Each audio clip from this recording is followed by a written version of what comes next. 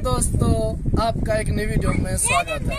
दोस्तों, आज ईद का दूसरा दिन है और तमाम दोस्तान, तमाम देखने वालों को ईद मुबारक हो। और अभी आए हुए हैं बच्चों के साथ पार्क में, ईरान के एक पार्क है, कुम में, जिसे बोस्तान खदीर कहते हैं। यानी कबीर नाम है पार्क का नाम। तो यहाँ पर आए हुए यहाँ पर तारीखी जहाज़ खड़ा है, सवारियों वाला तो बच्चों को भी लेकर आए थे तो हमने सोचा भी आपको दिखा व्यूवर्स को भी दिखा दें ये कितना पुराना जहाज़ है।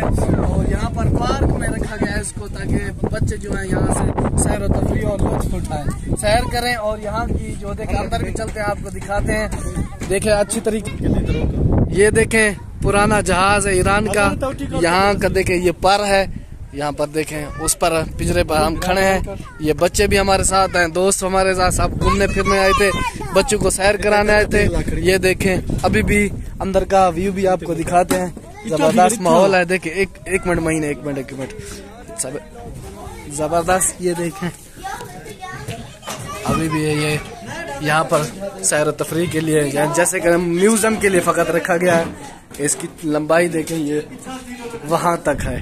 ज़बरदस्त जहाज़ है जो पुराना हो गया है। इसको अभी क्या किया? पार्क में रख दिया ताकि ये सैर तफरी नुमाइश के लिए हो।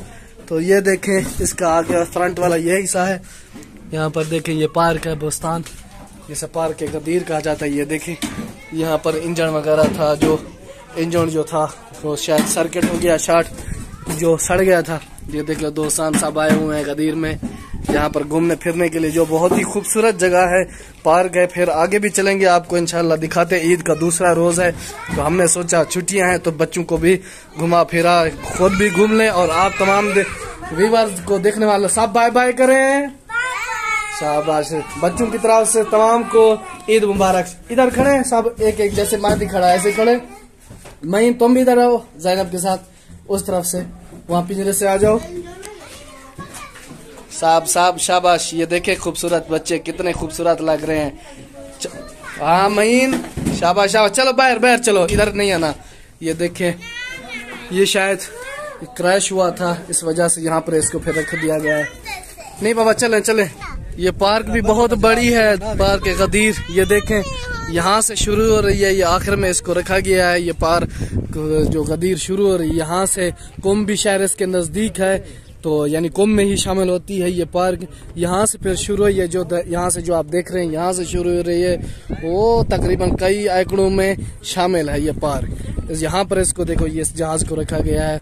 ये देखे बड़ा ही ईरान का परचम भी वहाँ पर लगा हुआ है। तो यहाँ पर अभी नुमाइश के लिए रख दिया। इतनी हिम्मत देखें। जी। तो दोस्तान, ये देखें, ये सीढ़ी होती है, जिसको खोलकर फिर जो पैसेंजर होते हैं, सवारी होते हैं, वो नीचे जाती हैं। ये हो गई। इस तरफ़ से भी देखें, खिड़की थी।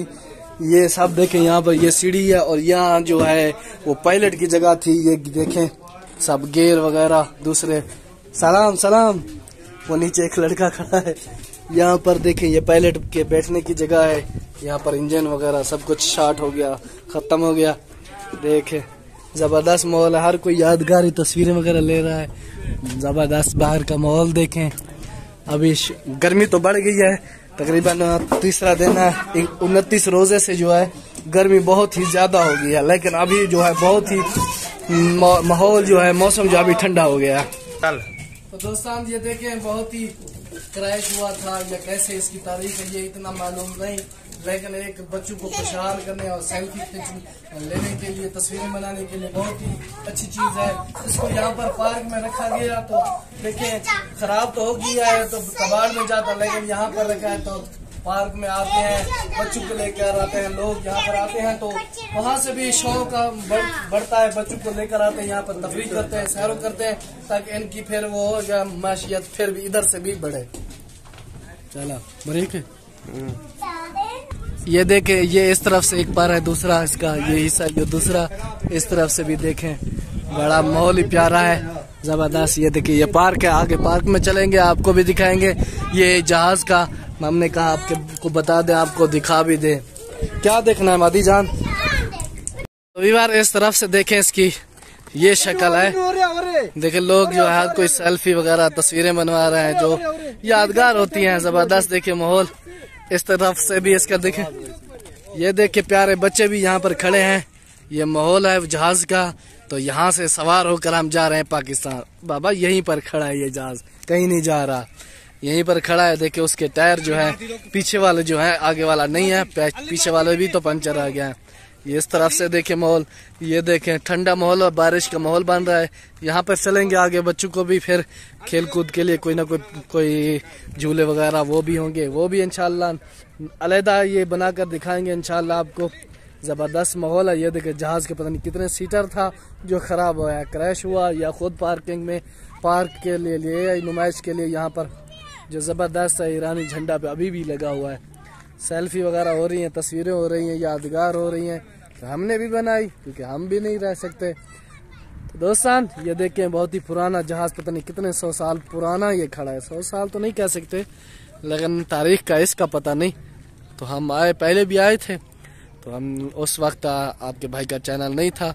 तो इनशाला पसंद आए तो शेयर लाजमी कर दीजिए। कमेंट में बताइएगा भी ये ईरानी जहाज़ कितने सौ साल पुराना और लगता, लग रहा है आपको, और ये कितने सीटर होगा।